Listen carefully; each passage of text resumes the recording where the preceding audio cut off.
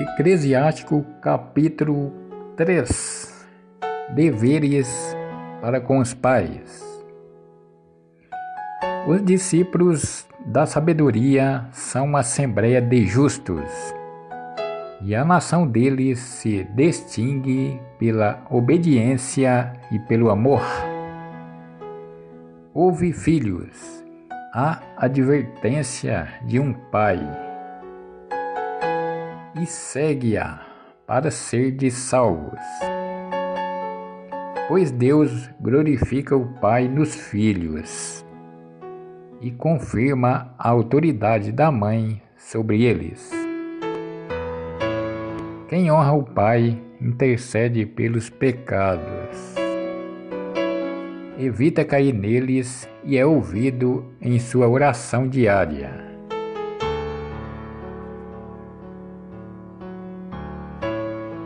Quem honra a mãe é como alguém que acumula tesouros. Quem honra o pai terá alegria em seus filhos e será ouvido no dia de sua oração. Quem honra o pai terá vida longa.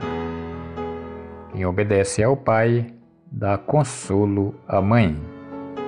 Quem teme o Senhor respeita pai e mãe e serve como a senhores os que lhe deram a vida. Honra teu pai com tuas ações e palavras, para que, su, para que desça sobre ti sua bênção. A bênção do pai consolida as casas dos filhos, mas a maldição da mãe arrasa até os alicerces. Não te glories da desonra de teu pai, porque a desonra dele não pode ser tua glória, pois a glória de um homem depende da honra do pai. Vergonha para os filhos é a mãe desprezada. Filho, ajuda teu pai na velhice. Não o entristeças durante sua vida. E se ele perder a lucidez, sabe desculpar.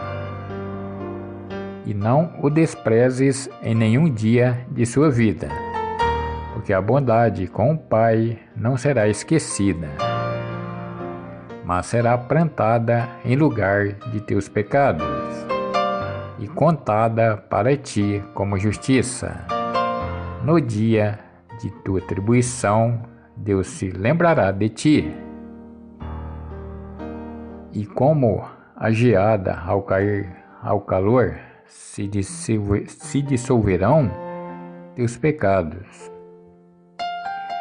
Como é infame aquele que abandona seu pai. Como é amaldiçoado pelo Senhor aquele que exaspera sua mãe. Ser humilde. Filho, Realiza teu trabalho com mansidão. E serás amado mais que um homem generoso.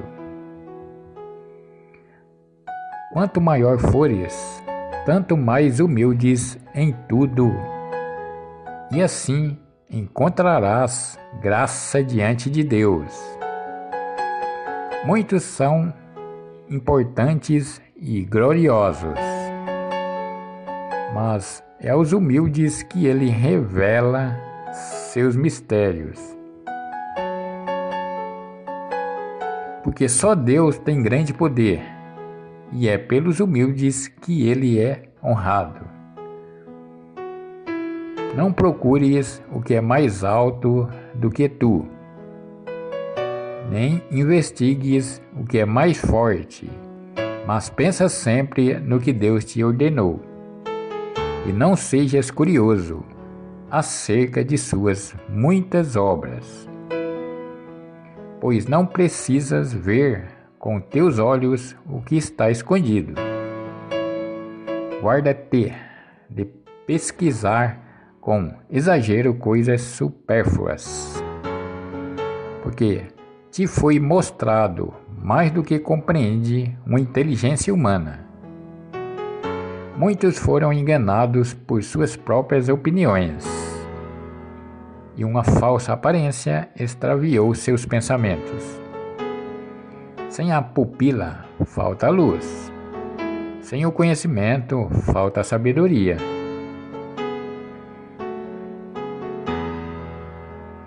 Os danos do orgulho. Um coração obstinado acabará na desgraça. Quem ama o perigo, nele perecerá. O coração que segue dois caminhos não será bem sucedido. O coração mau será acarbulhado de dores, e o pecador acrescentará pecados sobre pecado. Para as chagas dos soberbos não existe cura. Porque a planta do mal se enraizou neles e não é percebida. O coração dos sábios compreende as palavras dos sábios, e o ouvido atento cobiçará a sabedoria. O coração sábio e inteligente se abstém dos pecados, e praticando a justiça terá bom êxito. A água apaga um fogo ardente, assim a esmola espia os pecadores.